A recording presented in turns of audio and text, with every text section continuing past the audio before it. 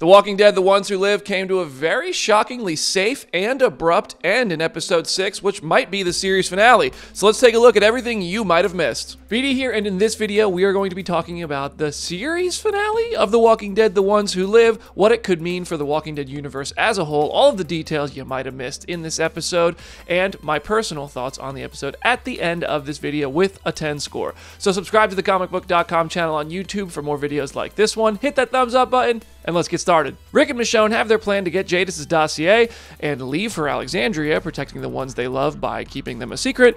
And this is complete with Rick convincing everyone at the CRM that he survived not one, but two helicopters and was the only one to do so. In his explanation, he claims Michonne, aka Dana, to the CRM as far as they're concerned, saved his life and died. Beale wants to drop the echelon briefing on Rick Grimes, which seems to be something that requires a lot of trust and hope put into the soldier on the receiving end of this information. Weirdly enough, he seems to not really trust Rick because he demands that anything that could be a weapon is slid across the table to Beale so that Rick can't be a threat, but kind of also allows him to be a threat by dumping all of his villainous information and plans on him.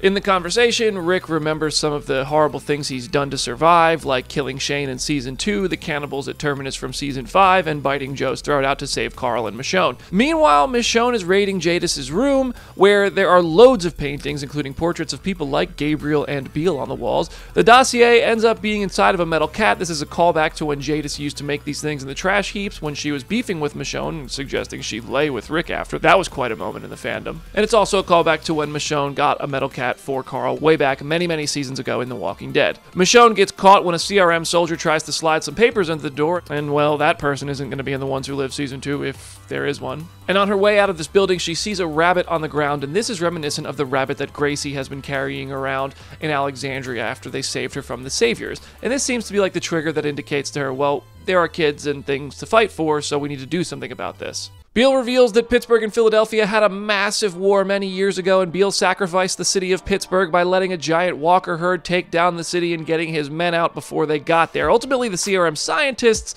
have found that all humans will go extinct within 14 years, and we see the test subjects first shown in the credit scene from the Walking Dead The World Beyond spinoff. Ricky Dicky Doodah Grimes is not down with destroying Portland or other communities for the survival of the CRM, and we see a flashback to when Beale sensed Rick was lying about Okafor from much earlier in this series.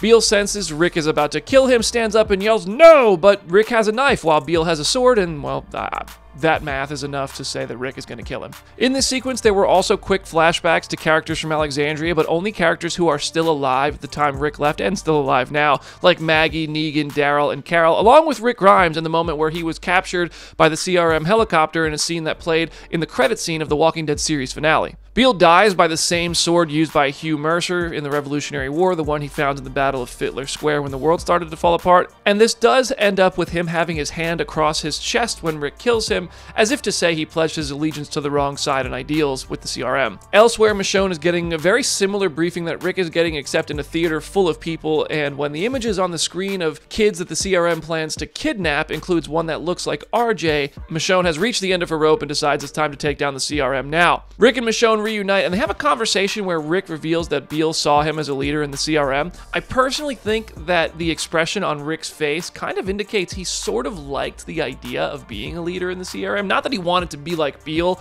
but that he thought he could be a good person as a leader. And that takes me back to the credit scene Easter egg from the first episode that I pointed out in the video, where there was a singular figure, and I thought that that's what Rick would want to ascend to. Rick and Michonne's plan to blow the whole place up looks like it'll include them when Thorne cuts them off, but boom goes the dynamite and boom goes the thorn. Well, oh, wait, never mind. No, she survived the explosion. She's like apparently the only person who wasn't covered in water in a blanket to be able to survive it.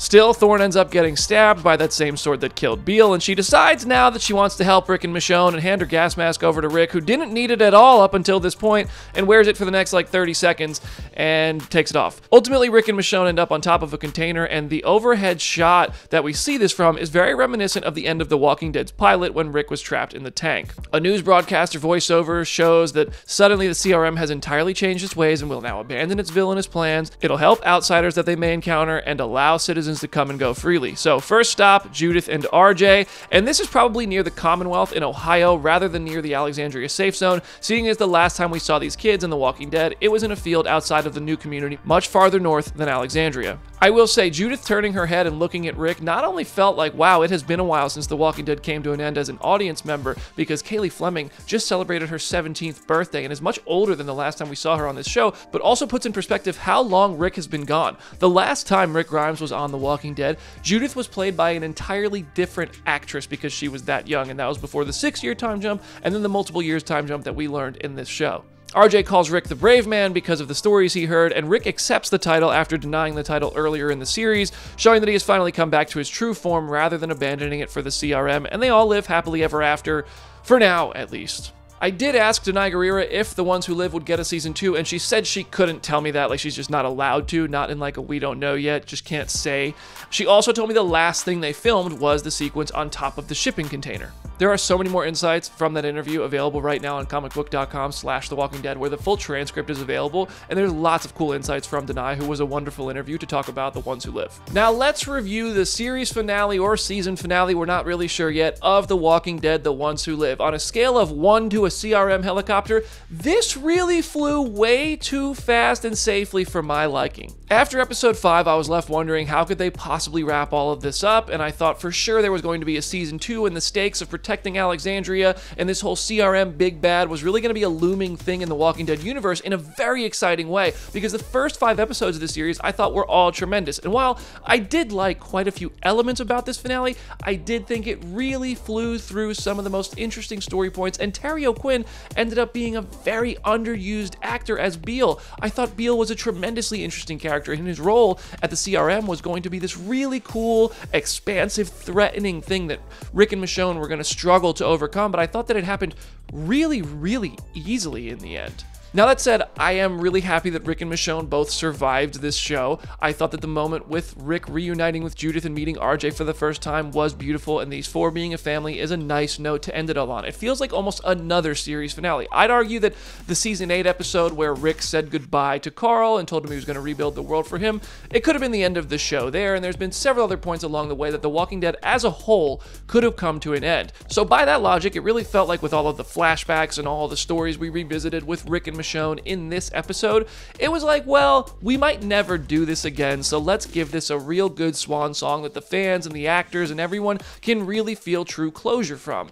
The thing is, while I did want closure, I did feel like it came a little bit too fast in this episode. There were quite a few things I really liked about this episode too, though, like the tension in the Beale and Rick scene, the tension in the elevator scene, which honestly would have been better if it didn't cut away to Michonne in the middle of it and just kept us present, kept us feeling claustrophobic, like Rick is about to find out what's going to happen next, and if every single beat of that elevator buzzing with each floor it was reaching emphasized the time passing, but instead, it was moving really quickly and had to cut away to Michonne and had to come back to the elevator, and it kind of broke the tension a little bit. I do have to shout out the musical score in this episode, which I thought was tremendous. I thought that the music really did a good job of setting the tone and setting the scene for so many sequences in this finale. And if this is indeed the end of the road for our time with Rick and Michonne, then I'm glad we got the closure that we got here even though I would have loved to see a season two and see this all expand into like just a big Avengers Infinity War, Avengers Endgame type of event for the Walking Dead universe where all of the characters and all of these spin offs and the CRM is basically the Thanos of it all, connecting all those characters that are still out there in multiple parts of the world in the Walking Dead universe. I think that would have been really nice. Instead, we got a conclusion here where the CRM has changed its ways and presumably will start rebuilding the world, even though it's the Walking Dead universe, so I'm sure there will be other plans. Anyway, now I'm rambling. I'll just say this. I give this episode a 7 out of 10, and I think The Walking Dead, The Ones Who Live as a whole, was better than this finale. So I give the show an 8 out of 10.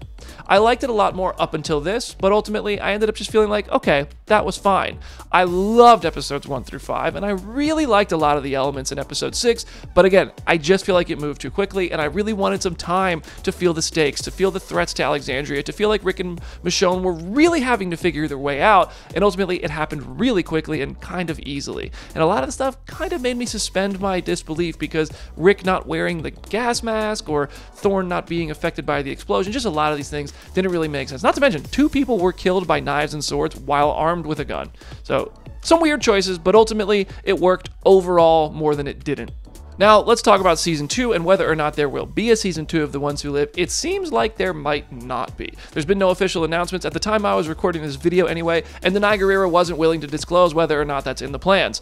So I think that the Walking Dead universe might see Rick and Michonne pop back up again at some point. I think it's inevitable that we're going to see Daryl and Rick meet again, Maggie and Negan come back into the mix with everybody.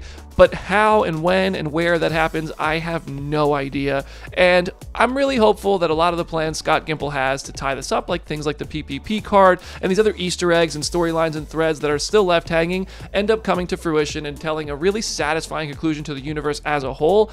But when, where, how that happens again, really hard to say. What did you think of The Walking Dead The Ones Who Live? Share your thoughts in the comments section and subscribe to the comicbook.com channel on YouTube for more videos like this one, exclusive interviews, and so much more.